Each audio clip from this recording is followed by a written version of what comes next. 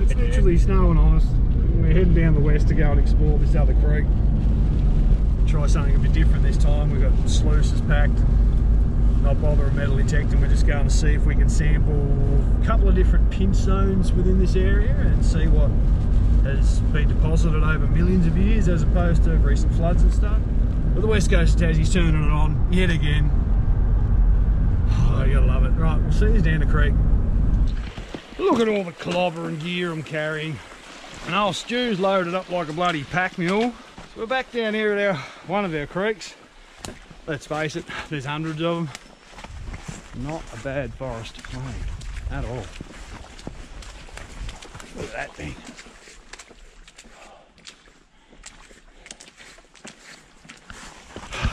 Also not a lot of big trees in here. It Tells you a fair bit about the country. The Huon Piners are up in here, so they had a good time making some money. I'm not sure how the Huon Piners got the Huon Pine out, because well down this creek there's a proper old gorge and it's tight, steep and twisty. I'd suggest that things got jammed in there and stuck. So, who knows? I reckon somewhere here is worth testing. Okay there. Yeah. So that's a deep hole. Or do we just go up here and then work our way back? Either or. let's I, just- I do like that. Yes, so do I. So what we've got here is two geological anomalies. We're right on the boundary, right now in between two different types of rock. So the one behind us is the main creek we've walked down. And this one's a feeder creek from another old show running in from up above. There's potential for there to be some gold here. So we're gonna have a look and just see, eh? Because I'm a bit sick of this bloody walking business, carrying all my clobber. And here's the other geological formation. But you get up into the hills, there's water races all through here as well. All the way on this inside bend around the mountain, there's water races. So we'll just see what's in this stuff. Sandstone looking stuff. Crikey, so we're in our creek. Stu's, sluicing. Lots of this stuff just breaks apart. That's what you want. You want that decomposing bedrock. And I've got a crevice here I'm working, so I'll just keep at it.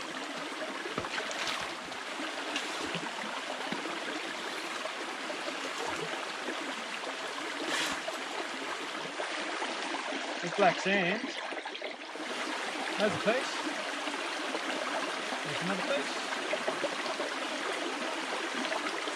Tiny little rocks. Hang on. There is gold in here. That's good start. but it's tiny. So there's, I don't know, six or seven bits just there.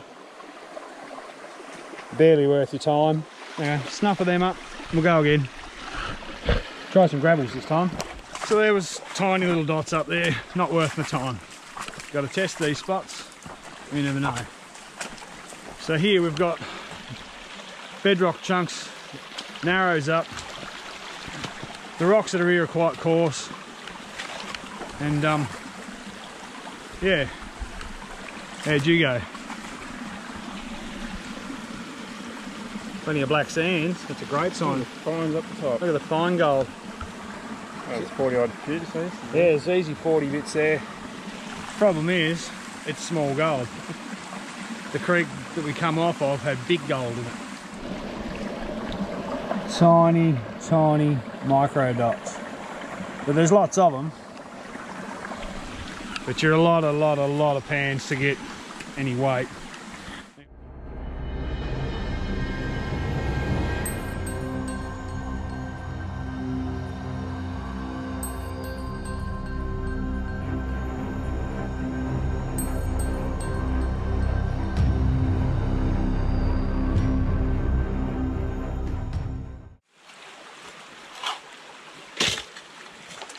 rush Doc made me. Thanks, Doc.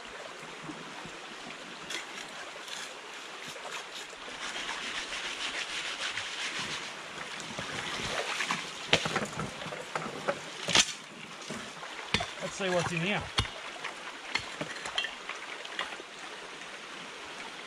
I'll show you. Look at the black sands in there. Pretty heavy with black sands. And black sands is a great thing because it sits on top of your gold. So when you're panning, it kind of locks it in. I'm sure you guys can see those three bits, four bits.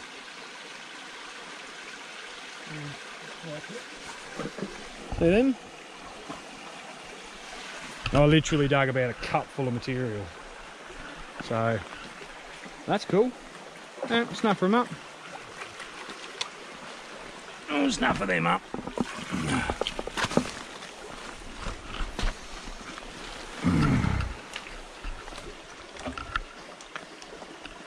It's really fly shit though, let's be honest.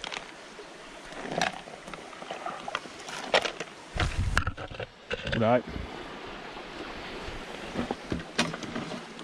Alright, let's try some gravels. There you go. Winning? Fly poo? Let's have a look, Stu. That's a nice looking bit. Look at that. That's nice. Like I rechecked that because I didn't. yeah, that's a great piece. So Stu's found a couple of bits with some ironstone in it, and a little bit of quartz and a little bit of gold with ironstone in it. And I've been busting up this sandstone here, just having a look. And look at that, blue clay. Notorious for having gold in it. Everywhere I've dug the blue clay, I've found gold. That doesn't mean that I will here. But um, anyway, we'll pan it.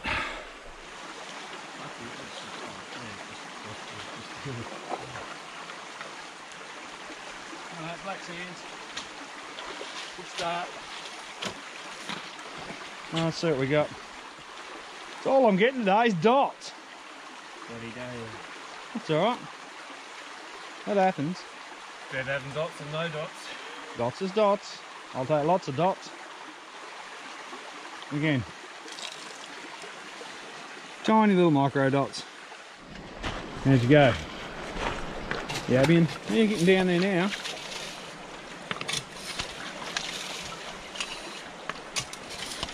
That's the go. Oh. So just sucked out this little crevice there. And got that little piece there. You want to go sniping but you don't feel like getting wet? That's the talk the job.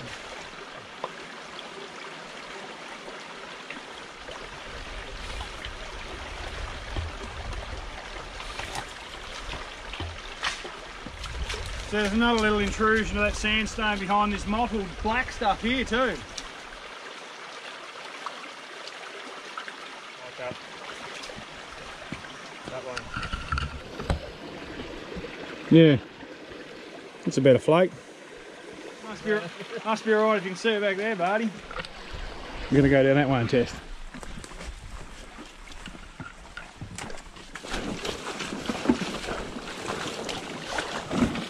You know, and I reckon a lot of this was done in the 30s, 30s and 40s after the war, because that's when the big push was on for new mineral deposits and whatnot. We're digging below the flood zone. The flood zone's, you know, top of Stu's bag there, so we're digging below that. We're not disturbing any plants. We're just following this crevice into the bank.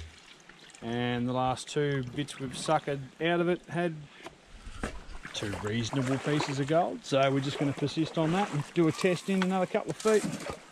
That's the nature of testing a new spot, is literally testing places. You don't get to know it by traipsing around and digging where everybody else digs. You've got to dig in a little bit different spots.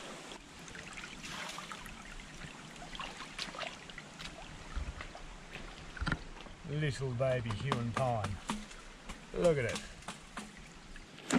So we've continued walking down this creek and look how much it's opened up. There's some big quartz just there. See where they've terraced it. Yeah, this for a forest though. I'm just wondering where they had their sluice boxes set up. Nice big straight is what they had. See where they were benching and testing, eh? So how do you figure out where to dig? And how do I figure out where to leave my bucket? Well, these tailings piles would be a good place for the detector we didn't bring. But the game is you pick up where they stopped. You figure out where they had their sluice boxes and then you work at the end of them. Because they were only catching 40 or 50% of the gold. They were missing quite a bit of it because their sluice boxes were either a river sluice, so they dug cracks into the clay, put tin over it, punched holes in the tin, and just shoveled the gravel with the gold in it across it. Well, that ain't gonna catch much. It's also what they had. So Stu dug some from up on the hill over there. I dug some out from where the, they'd finished sluicing. So they washed it all down with their nozzle and pushed it into their sluice boxes and into the creek. So the last part with where they were was where I started digging. And a bucket full.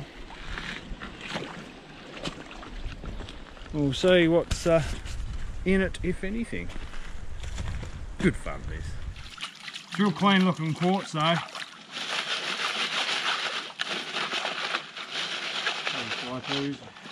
Fly poos is good, that's something. And this is a river that some good nuggets are pulled out of. Tell this stuff's never been dug before because it's silty. Very silty. Doesn't look like there's ironstone or anything, it's just quartz. It's just all quartz. It's just fine. It is up where I was digging. All the ironstone seems to be down here in the creek. Nothing in it. This is all part of testing the creek. You gotta, you just gotta try spots. I've had days where I've tested creeks and it's like, holy crap, there's gold everywhere. Other creeks, just nothing in it. Well, I got nothing out of that first pan. Not a speck. So imagine when there's a couple hundred miners all down there turning this creek into just silt. Would have been hard to pan, like. Bloody hope we've done some pans today. I thought it'd be a bit sore. Oh, I'm pretty sore. One micro dot. A little ring of black sand through here. It can stay there. I'm not going to bother sucking that up.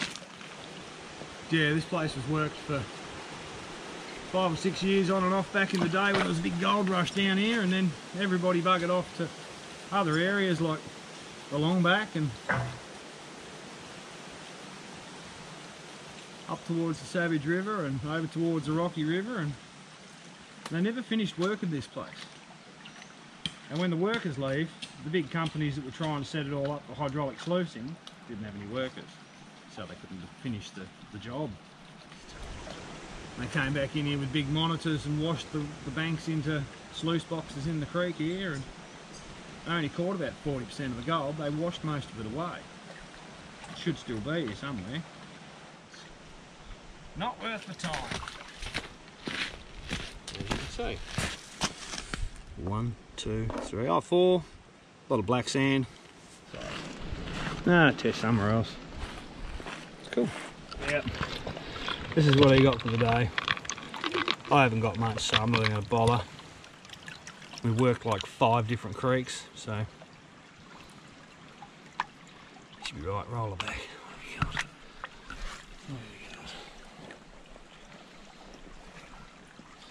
Threw it all away, did you?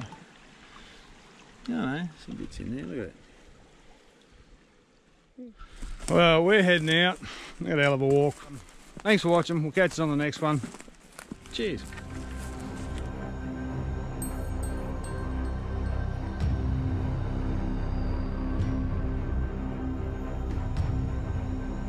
If we ever get out of here alive, because right now we're both knackered I want's beer. My back hurts. My bucket's really heavy. My pants are falling down. We've got to walk over all these bloody water races. Why'd they have to do so much digging? Why couldn't they just make a nice smooth path? We shall resume clambering over the old tailings piles. I think I've got my whinge muscles flexing.